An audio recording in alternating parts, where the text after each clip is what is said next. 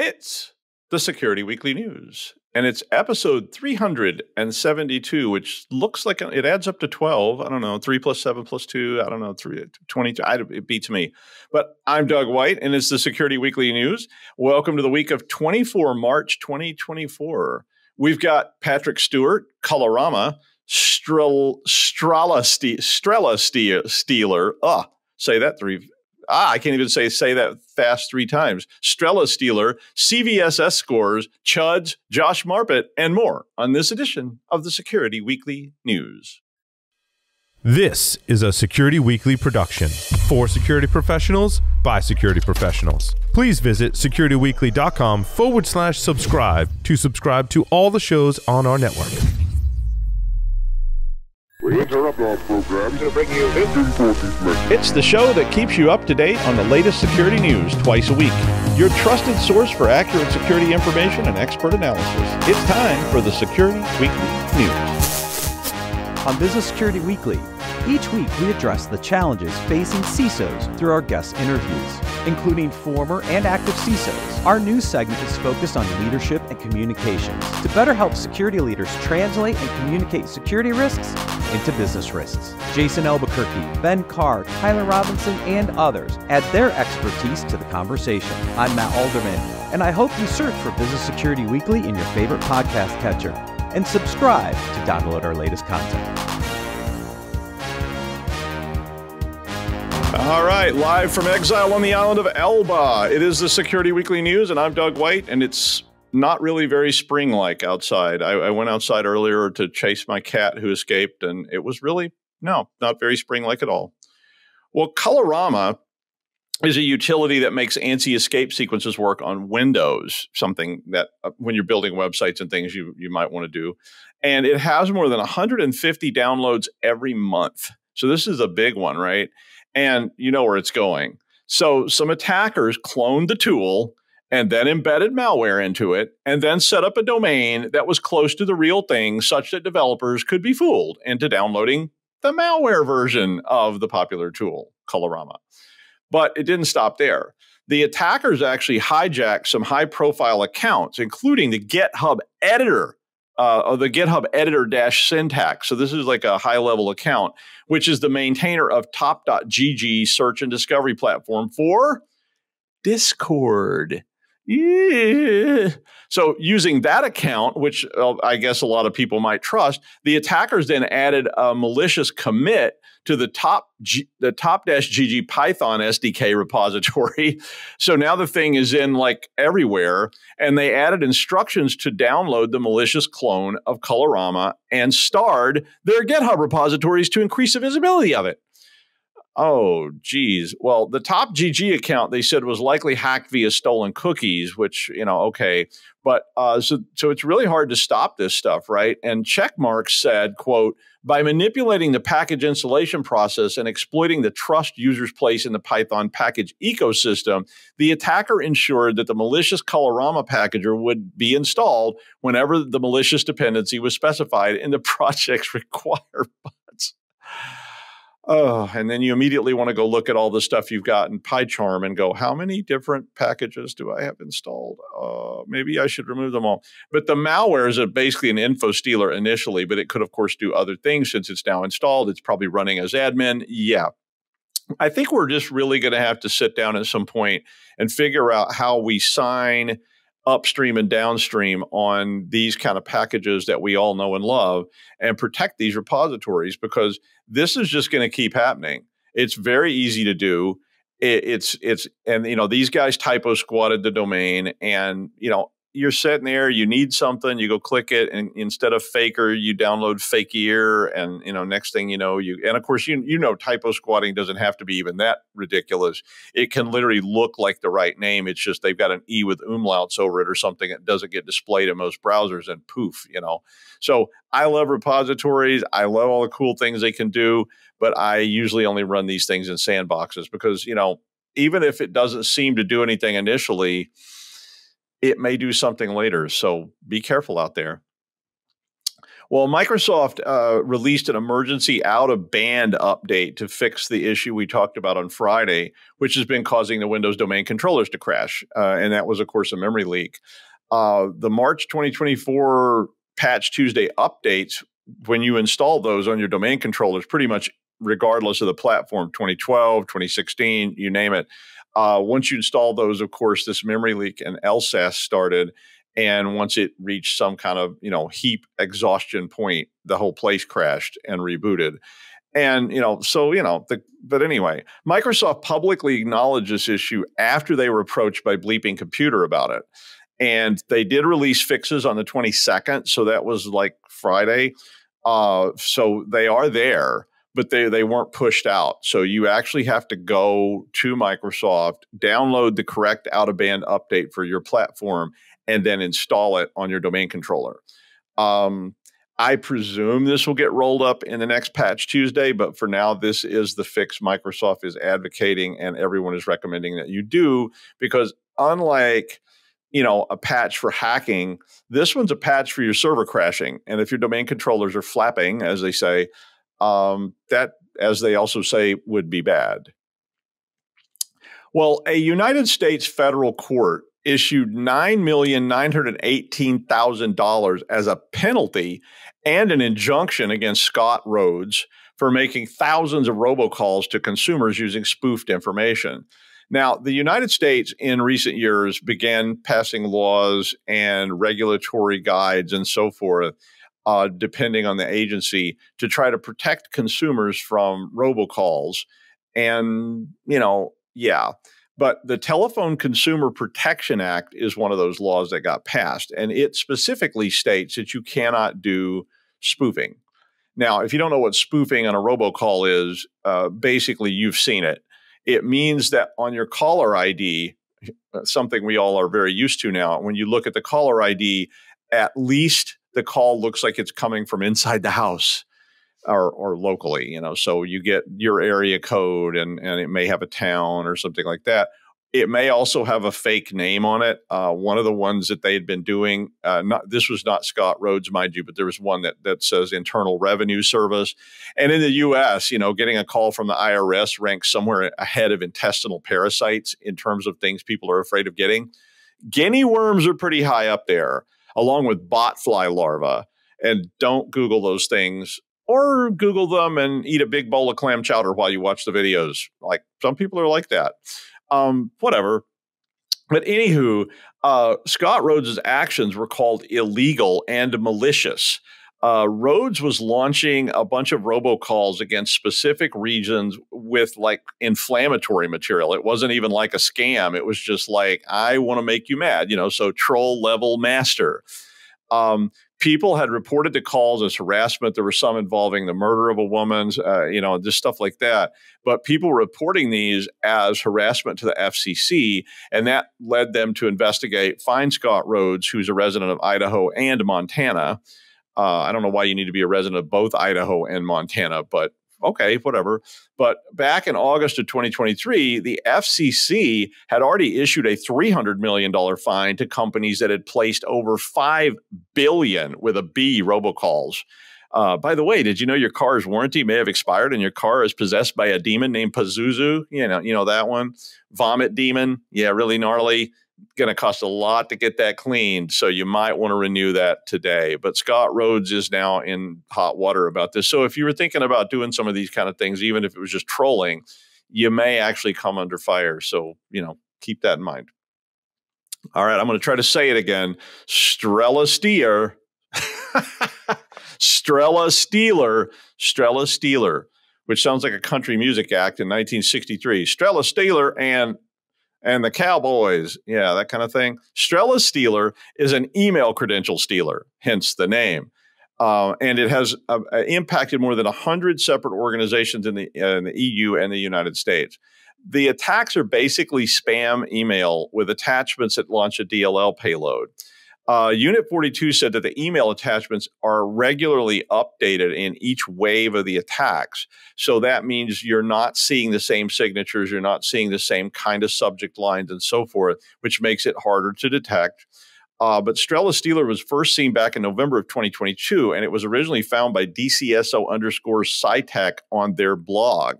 Unit 42 said the recent campaign was launched in late January and is targeting multiple industries in the uh, European Union and the United States. The malware keeps being updated, so it gets delivered in all kinds of different ways, but lately it's being being delivered in zipped JScript. Uh, and it employs an updated obfuscation technique in the DLL itself, where they actually rig it so that if you look at the code or whatever uh, stuff is actually moved off the screen or out of the box and all kinds of little tricks like that. But I mean, basically, uh, these types of attacks work. And they often lead to more attacks, you know, spear phishing attacks when they escalate. And big fleas have little fleas upon their back to bite them, right? Who do you think I am, Augustus de Morgan? I mean, but regardless, this this stuff works, and we all know it works, and we all talk about it all the time. But you definitely need to be vigilant uh, as you you know because these things just keep popping up, so they're going to keep happening. Now, we were talking on PSW last week about CVSS severity ratings, a really cool show. Uh, and we talked a lot about how there are all sorts of issues around the ratings and how they're used. Now, I always thought they were a guide, you know, so it was just general ideas, kind of like the speed limit signs, you know, so it's just a general guide, you know, I mean, I sort of around that area. But apparently, there's a lot of policy out there in a lot of your organizations that sets criteria around things based on these uh, CVSS scores, which is concerning. I mean, you know, do you have to patch it? Well, if it's greater than this, when do you wait and so forth? And all this ends up being related to a nice number that everybody loves because everybody likes to see a number that says this is the number. Well, I mean, there's always going to be pressure then. Uh, and this was some of the stuff we were talking about. There's always going to be pressure in both directions to score things a certain way, depending on your point of view, right? Uh, some people would like it scored higher. Uh, I guess that would be the people that developed the, mal, uh, the, the exploit. Uh, other people would like it scored lower so they don't have to patch it and on and on and on. But there were two DNSSEC vulnerabilities that were disclosed last month that had this. They, have, they had very similar descriptions and they had the same severity score, but they aren't the same issue. Okay, well, I mean, that's nothing new either, right? But one of them is called Keytrap, and it was found by Germany's National Research Center for Applied Security, or Athene. Uh, and it was described as one by them as one of the worst ever discovered. Uh, I'm sorry, it was described by Akamai as one of the worst ever discovered, since it could be used to disable large parts of the internet. You know, so that's kind of like saying the flamethrower is a useful device, but this particular model may go off. You know, the whole canister may explode. Uh, so that sounded pretty bad. The other one was found by Peter Sh- uh, Spacek uh, from the Internet Systems Consortium and was listed as a CPU exhaustion risk. So, you know, okay. But then Athene came back and said that this second one that Mr. Spacek found was of no consequence. It was rated 7.5. Now, the one that Athene found was also rated 7.5. Now, I mean, there is a method to this, right? I mean, they uh, MITRE has a specific method, and everybody who sets up these CVSS scores has their own specific methods of doing it. But basically, it's supposed to help you decide how much risk there is with certain things and how you should proceed based on your own policy guide. But here is an example of two similar slash not similar issues that have the exact same score, very similar descriptions, and different people saying how severe they are which is the way risk always works, right? I mean, some people say skating on that pond, yeah, you know, it's a 7.5. And somebody else says, yeah, it's a 7.5. Let's go. But, you know, ski slopes are the same way. You know, there's a double black diamond. That one's a double black diamond. I had I was uh, guiding some people once from Indiana, and, and she said we ski double black diamonds all the time. So I took them to this double black diamond at Breckenridge, and they went, "What the hell is this?" I was like, "Double black diamond," and they were like, this isn't like the double black diamonds in Indiana. And I was like, they actually have hills in Indiana? Like, or do you just like scoot along the ground? You know, I mean, I mean, I've seen double black diamonds in Michigan that were just like, you know, advanced cross country trails, but regardless. Anyway, I think it's we, we, all this is because we sort of misuse CVSS scores. Uh, we put too much stress on the number and too little stress on using that to do a risk assessment of that problem.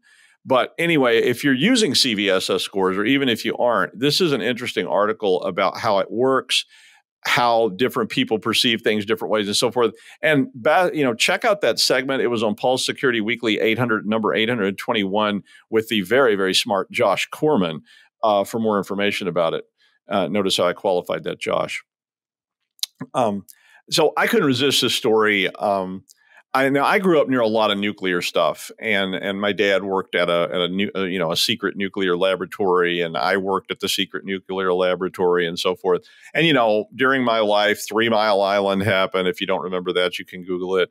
Uh, I got to see classified video of Chernobyl, which was one of the most terrifying things I've ever seen, and you know, and so forth. And you know, nuclear power was not that popular of a concept uh, back in my day.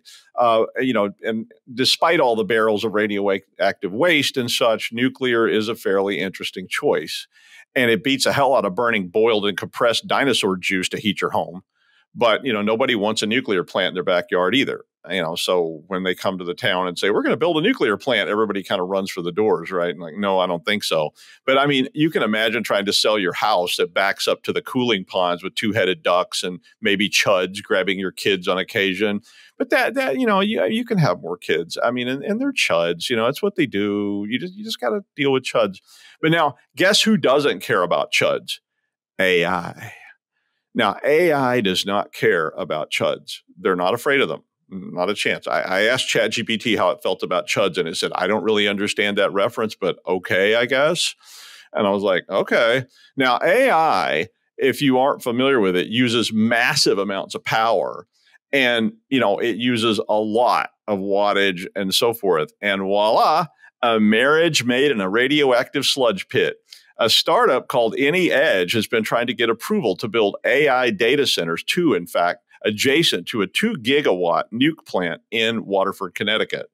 Now, the AI facilities would consume as much as 13% of the power plant's output. And I guess the main concern from the residents was that they don't like them taking all the power for AI. Hmm, AI, alpha, beta, and gamma radiation. What could go wrong? I mean, she was an AI coder in the big city, but decided to chuck it all to return to the family's chud farm to try and save it from the bank. He was a simple chud milker with no future. Would sparks fly? This week on the Sci-Fi Hallmark channel. I can crank those out like four a day if anybody needs. Anybody wants me to write Hallmark movies, I'm I'm I'm there for you. All right. Well, the United States and Britain sanctioned China for running a 14 year long hacking campaign, which targeted White House officials, senior agency staff, senators, representatives, pretty much everybody. Uh, the U.S. Justice Department unsealed an indictment which, char- uh, which charges seven named state sponsored Chinese hackers with the campaign to target the U.S. and foreign critics, businesses, politicians, et cetera, et cetera. And, and they said that the objective here was to try and advance Chinese economic espionage and political spying goals. Yeah, of course. Now, the Treasury Department did announce sanctions on two of the hackers, and a front company uh, was also targeted. And these two hackers in particular were breaching U.S. critical infrastructure, including the defense uh, industry and the energy industry. Now, the British government joined in all this with the Biden administration on Monday to sanction the hackers and the companies for targeting parliamentarians, which is uh, the equivalent in uh, the UK of the, representatives and, and, senators. And they also said that the, Uni- the, United Kingdom electoral commission systems were targeted between 2021 and 2022. The hackers were part of a group called APT 31, which we've heard about before, which is also called Judgment Panda, which I kind of like. I mean, it's a Judgment Panda or Violet Typhoon, depending on who you ask. Now, Violet Typhoon sounds to me like what happened when Lou decided to drink all those sea breezes and blue whales in Hawaii that time. Uh, you know, yeah, I mean that was that was what I called that violet typhoon. But anyway, all this stuff was part of a cyber espionage program run by the Hubei uh, State Security Department in Wuhan. Uh, it's been operational since 2010, so this is an oldie but a goodie. Uh, kind of like Cozy Bear and all those, they've been around a long time. But most of the defendants in the case, uh, they're all named. So if you want to see their names, you can. Uh, they may be applying for jobs, who knows? But most of the defendants are not in the West uh, and are most likely listed as being in China. Uh, so, you know, you probably won't be seeing them at DEF CON anytime soon. But then again, who knows? You may be walking through the Las Vegas airport and go, Do I know that guy? Are you, hey, are you part of Violet Typhoon? Yeah, you bet. Well, this is a tale of a meeting of two lonesome, skinny, fairly old white men on a planet which was dying fast. The skinnier of the two is Josh Marpet. Hi, Josh. You, do you know how old you are? That chuds is a term you use normally. hey, everybody knows about chuds. No, no, no, they don't. I would be willing okay, to be well, curious. You, you, keep telling yourself that. How many watchers and li- listeners know what a chud is without having to Google it? Okay, because I, honestly, I want them to Google it. Uh, no, you, you, should Google it. It's a hilarious movie. It's horrible. It's like it's the the horrible 1980s. Oh, it's awful. It's sci-fi hysterical. movie. No, it's a fun, fun sci-fi horror movie. And I actually remember what the acronym stands for, which is terrifying because I can barely remember what I had for breakfast. Oh. But uh, cannibalistic humanoid underground dwellers. Sounds like a party to me. That, that's how bad the movie was. Let's be clear. But anyway, I, I, let, let, let's talk news. Let's talk news. So, dear God. So I, I, I, put an article in, and I put it in a bit late. It should it should be in the show notes already uh, about Ray. I mean, we all know Ray, and Ray's got problems. Okay, but if you don't know Ray, Ray is a uh, open source framework used in AI by a company called Anyscale. They're the developers and maintainers of it. And uh, Ray's got problems. I mean, we all know that Ray has some issues, but most of Ray's issues are patched. There is, however, a vulnerability in Ray, this open source AI framework, that was not patched. As a matter of fact, it's being disputed. And you know, you talked about CVSS scores just a minute or two ago.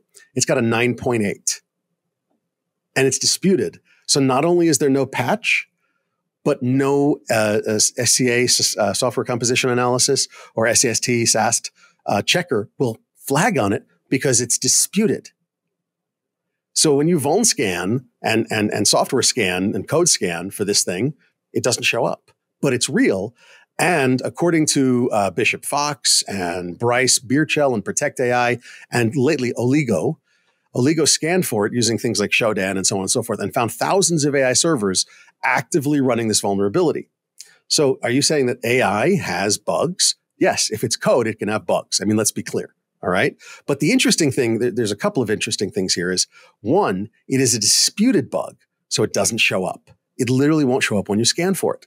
And two, it's a bug on a, on an AI framework.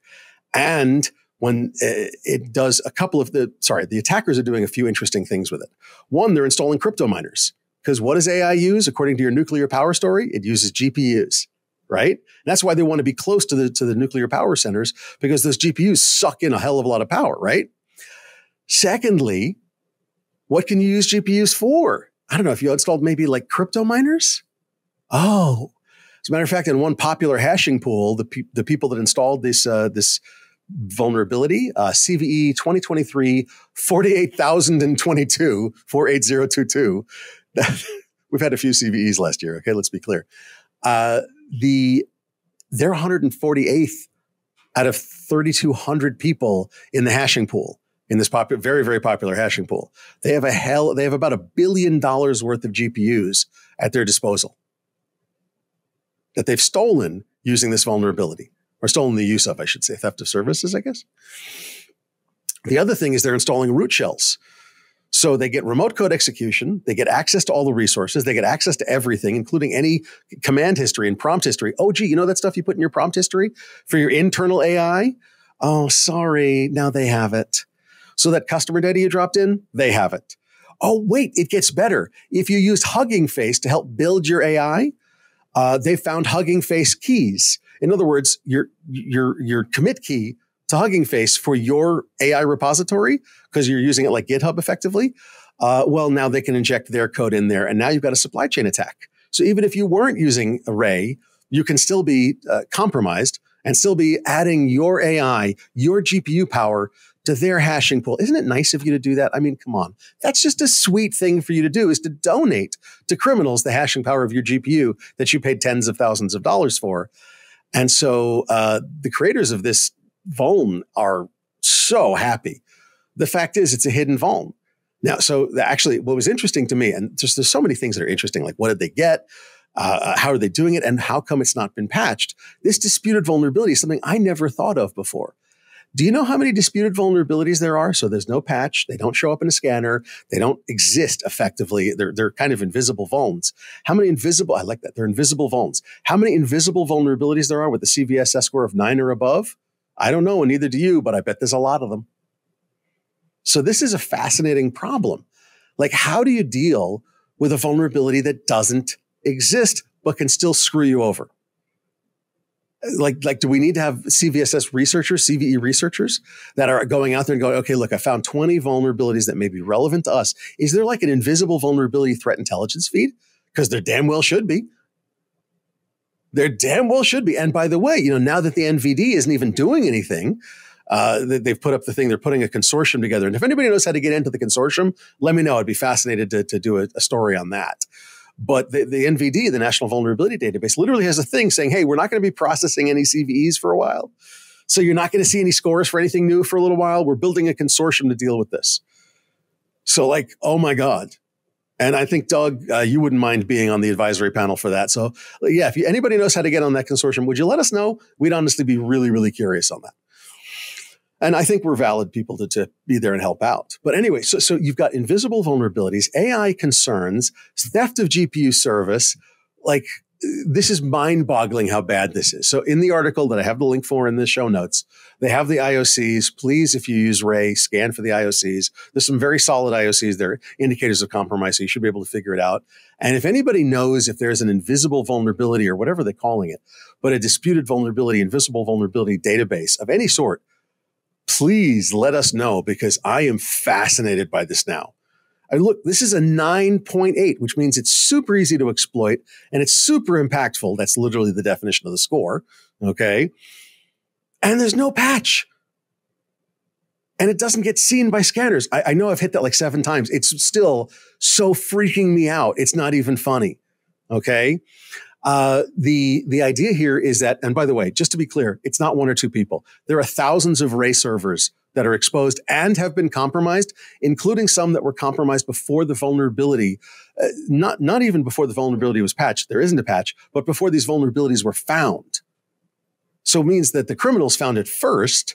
They've been exploiting it since 2023, sometime early early 2023 so they've they've been exploiting this and stealing your GPU usage and stealing your secrets and performing supply chain attacks for over a year now.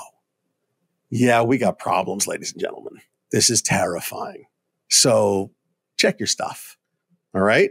And again, if you know of anybody doing uh, an invisible vulnerability threat feed, or if you know of anybody at the NVD, the National Vulnerability Database, putting that consortium together, please let us know. I really want to get in on that. Thank you. Chud, chuds. Yeah. chuds. right. I, am interested in the consortium too. Maybe Josh and I can run it. It's like, that would be cool. All right. Thank you, Josh. And finally, now I know you know this, and I know you've heard it before and you'll hear it again, but it's often easy to open hotel room doors. And they often do demos of this stuff at DEF CON, right? I mean, I remember the first time I went to DEF CON with the Paul Security Weekly crew. Paul had John and Mark so paranoid, I think they huddled in the room with pointed sticks the whole first night. Or maybe that they went to Frankie's and that was actually me huddling in the room with a pointed stick. And there was this whole thing where I thought that homeless guy was talking to me. That was Patrick Stewart. And we were going to start a winery in Vouvray. And it turned out to be an old Dell Optiplex. But I digress. Uh, this article was talking about flaws in hotel room key cards uh, and they resulted in a hacking technique called Unsaflok. Uh, uh, oh, I get it. Unsafe lock. Oh, it looked like Unsaflok. I have problems with syllables.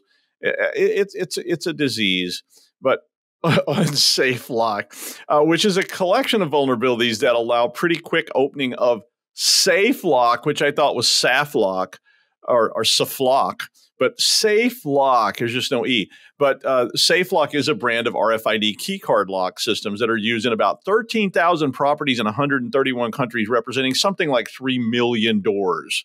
So, yeah, there's a lot of them. Now, Flipper Zeros work too, right? I mean, they have the article has a whole bunch of different references to ways that you can get to uh, get these doors to open. Apparently, there's a vulnerability collection there that is just being used openly. Obviously, like I said, Flipper Zeros can work. And, and then if you're Larry, you've got all kinds of other little tools and tricks, or Tyler, and they can open the door. And of course, if all else fails, there's always the good old, you know, crowbar. Uh, approach, which is usually more my thing. So, I, you know, I don't know. Sitting alone in the dark with Patrick Stewart, a samurai sword, two liters of holy water, and a pint of ether. I mean, that's how every good Vegas story starts, right? I mean, But anyway, this is a fun story if you like such things uh, and so forth. So, from the island of Elba, that is the news. Thank you, Josh, and I will see you Friday on the Security Weekly News.